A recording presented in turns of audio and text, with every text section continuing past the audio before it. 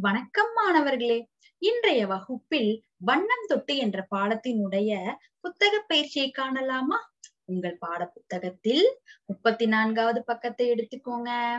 முதல் பகுதி என்ன கொடுத்திருக்காங்க பாருங்க? சொல்லி பழகுக. இங்க கொடுக்கப்பட்டிருக்கின்ற சொற்களை சொல்லி பழக சொல்றாங்க. நான் வாசிக்கிறேன். கவனிங்க. வரையலாம். நனைக்கலாம். ஆடலாம். சிரிக்கலாம். கடலலை இங்கே கொடுக்கப்பட்டிருக்கின்ற சொற்களை சொல்லி பழக வேண்டும். அடுத்த பகுதி பாருங்க. படித்தும் எழுதியும் பழகுக. இங்க கொடுக்கப்பட்டிருக்கின்ற சொற்களை படித்து எழுதி பழக சொல்றாங்க. நான் வாசிக்கிறேன். கவனிங்க. வ இன் நயும் வண்ணம். கா இல் கயில் கால்கள். ம மரங்கள் கடலலை கடலலை வானவியில் வானவில் பட ட படங்கள் பூ இக்கையில் பூக்கள் ம ர இக்கிளை மரக்கிளை. இங்கே கொடுக்கப்பட்டிருக்கின்ற சொற்களை படித்தும் எழுதியும் பழக வேண்டும். அடுத்த பகுதி பாருங்க. பொருத்துக சரியான விடையை பொருத்தலாமா? கடல் அலையில் கடல் அலையில் என்ன பண்ணலாம்? கால்கள் நனைக்கலாம். பூக்கள் போல கூத்து சிரிக்கலாம். வண்ணம் தொட்டு படங்கள் வரையலாம். மரக்கிளையில் ஊஞ்சல் ஆடலாம். அடுத்த பகுதி பாருங்க. ஒத்த ஓசையில் முடியும் சொற்களை மட்டும் வட்டமிடுக. இங்க கொடுக்கப்பட்டிருக்கின்ற சொற்களில் ஒரே ஓசையுடைய சொற்களை எடுத்து நம்ம வட்டமிடலாமா? அதுக்கு என்ன பண்ணணும்? நாம் வாசிக்கணும். படங்கள் ஊஞ்சல் கால்கள் மரங்கள். இதுல எது ஒத்த ஓசையுடைய சொற்கள்? படங்கள் கால்கள். மரங்கள். இந்த மூன்று சொற்கள் தான் ஒத்த ஓசையுடைய சொற்கள். எப்படி முடியுது பாருங்க? கல் கல் கல் முடியுதா? அடுத்த பகுதி பாருங்க. வரையலாம் நனைக்கலாம் வானவில் சிரிக்கலாம். இதுல எது ஒத்த ஓசையில் முடியும் சொற்கள்? வரையலாம் நனைக்கலாம் சிரிக்கலாம். லாம் லாம்னு முடியுதா? இதெல்லாம் தான் ஒரே ஓசையில் முடியும் சொற்கள். அடுத்த பகுதி வண்ணம் இது பொருட்கள் எவை?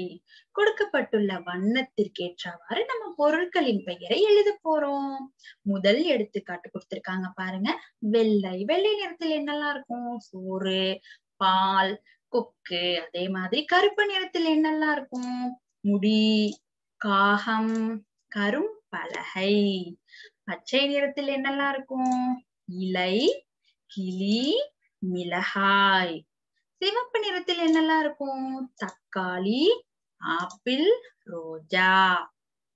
அடுத்த பகுதி பாடலை தொடர்ந்து பாடுக. கொடுக்கப்பட்டுள்ள பாடலை தொடர்ந்து பாடலாமா? கருப்பு தொட்டு கருப்பு தொட்டு டேஷ் வரையலாம். காகம் போல காகம் போல கரைந்து பார்க்கலாம். கருப்பு தொட்டு கருப்பு தொட்டு என்ன வரையலாம்? காகம் வரையலாமா? காகம் போல காகம் போல கரைந்து பார்க்கலாம். கரைந்து அப்படின்னா என்னது? கத்தி பாக்குறது சரியா? கரைந்து அப்படின்னா காகம் வந்து கத்துறதான் கரைந்து அப்படின்னு சொல்லி சொல்றாங்க.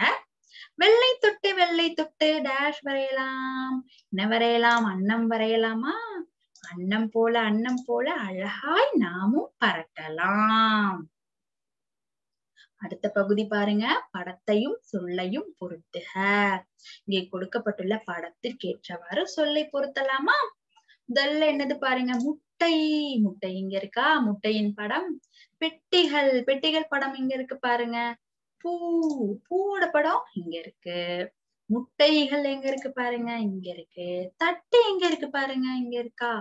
மரங்கள் எங்க இருக்கு பாருங்க இங்க இருக்கு. தட்டுகள் எங்க இருக்கு இங்க இருக்கு. மரம் இங்க இருக்கு. பூக்கள் இங்க இருக்கு. பெட்டி இங்க இருக்கு. படத்தையும் சொல்லையும் பொத்தியாச்சா? அடுத்த பகுதி உரிய பன்மை சொல்லை எழுதுக. இங்க ஒருமை சொல் கொடுத்திருக்காங்க. பன்மை சொல்ல நம்ம எழுத போறோம். பன்மை அப்படின்னா ஒன்றுக்கும் மேற்பட்ட பொருளையோ ஒன்றுக்கும் மேற்பட்டவர்களையோ சொல்றதுதான் பன்மை. இதை எப்படி நம்ம எழுதுவோம்? அந்த சொல்லோட முடிவுல க ஈன்ற விகுதி நம்ம சேர்ப்போம். பன்மையா மாத்தும் போது க ஈன்ற விகுதியை நாம் சேர்ப்போம். பாருங்க எடுத்துக்காட்டு மிட்டாய் மிட்டாய்கள் கொடுத்திருக்காங்க. சட்டைக்கு எப்படி எழுதலாம்? சட்டைகள். பொம்மை பொம்மைகள். மேசை மேசைகள் பை பைகள். பூ ஏற்கனவே கொடுத்திருக்காங்க பாருங்க. பூக்கள். ஈ ஈக்கள். தேனி தேனீக்கள். புறா புறாக்கள். மைனா மைனாக்கள். பழம் பழங்கள் ஏற்கனவே கொடுத்திருக்காங்க பாருங்க. பட்டம் பட்டங்கள். பாடம் பாடங்கள். புத்தகம் புத்தகங்கள். வண்ணம் வண்ணங்கள் பன்மை சொற்களா? நம்ம மாத்தியாச்சு. இந்த புத்தக பயிற்சி உங்களுக்கு புரிந்திருக்கும் நம்புறேன். நன்றி மாணவர்களே.